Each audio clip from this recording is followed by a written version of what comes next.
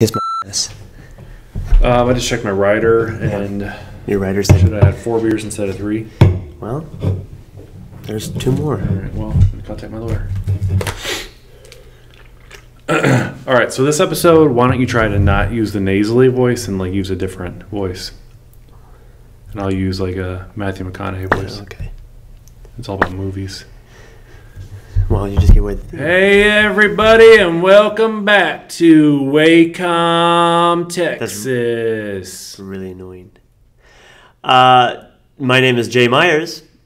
I'm Chris Kerr. Seriously, that's obnoxious, dude. All Uh, right, all right, all right, all right. Welcome back. You want me to just start again, or do you, Welcome back. you want me to? I'm still. I'm, I'm breaking it a little bit. I'll get it. No. Uh, today's episode is something that I am actually glad. I've asked for this uh, several times to do this theme, and I've been told no um, on on countless measures until the artists figured out how to Hold on, we draw what I'm problem. talking about. Uh, we have no points. no, I got it. All right. Um, Good. And that is that the uh, episode today is about one of my favorite subjects, which is movies.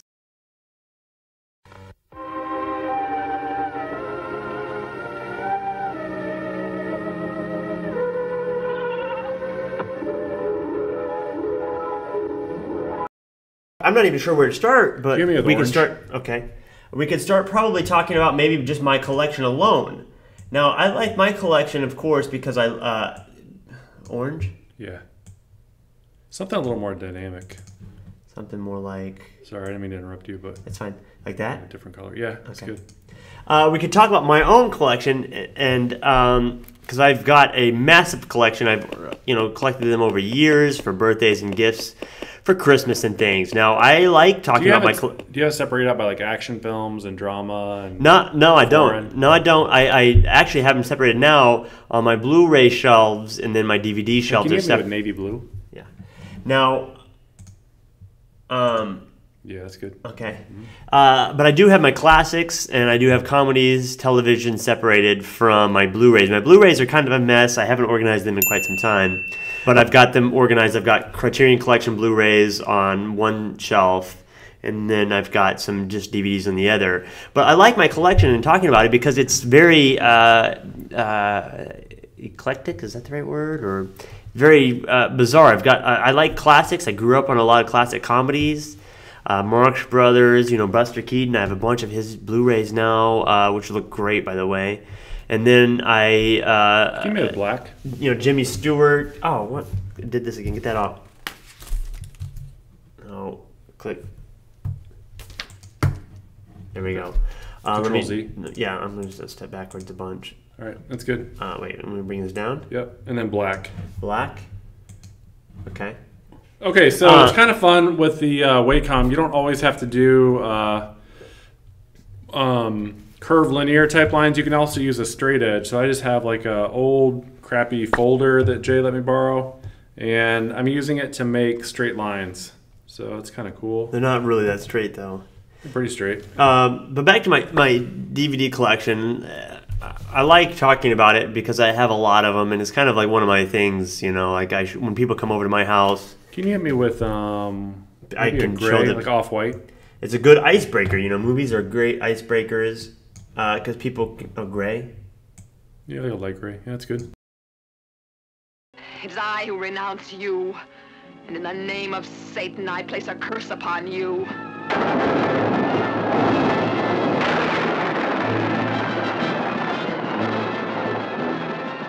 Black Sunday is like no motion picture you have ever seen. Saturated. Like that. Yeah, that's good. hmm Um, I honestly can't keep remembering what I'm talking about. Um, Everybody has been there before when the DVDs start slumping down against not each not mine because I don't have the space in my shelf for them to slump. Alright. You know, they're packed that. in. Like sardines. Uh, got like or or cold colors. I got blue, green, I okay. What, you, White. just pick one and then do the rest the same color. I seriously can't remember what I'm even talking about. light blue. We haven't done light blue. Okay, like that. Yep. Okay. Yeah. Um, This is like a Waterworld blue. Do you have Waterworld? I don't have Waterworld, which What? I I know I should. That's a great James Cameron film. Uh, oh, Kevin Costner. Yeah, Kevin Costner is in it, but it's a James Cameron, I think, directed it, uh, who also made Avatar, which won several Oscars for cinematography, even, is which is funny down. because it's a lot of green screen and a lot of CGI. Uh, but the thing was, they built the camera for that movie, and it was kind of revolutionary right, as far as when it came right, out. All right, all right, I own no Matthew McConaughey movies, uh, even All though right, he all right, won, all right, um, all right. he won uh, an Oscar Listen up, listen up. um, Let me. for. Uh, how about a yellow, but not so muddled like the first What yellow? happened to that Like a DVD? Right. Well, sometimes if you leave a DVD in your car, it can get a little bit uh, wonky.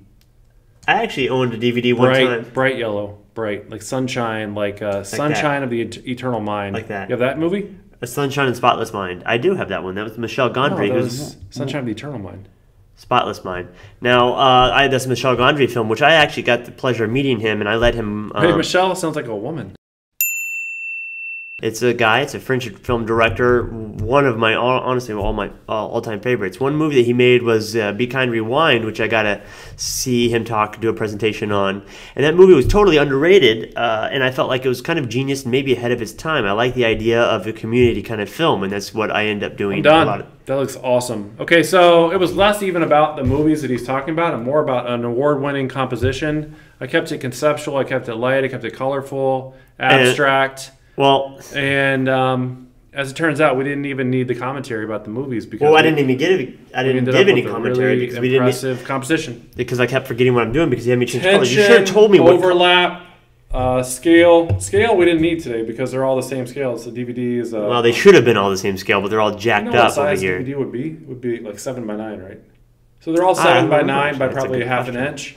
So I didn't have to work a lot with scale. So it all boiled down to overlap and tension today.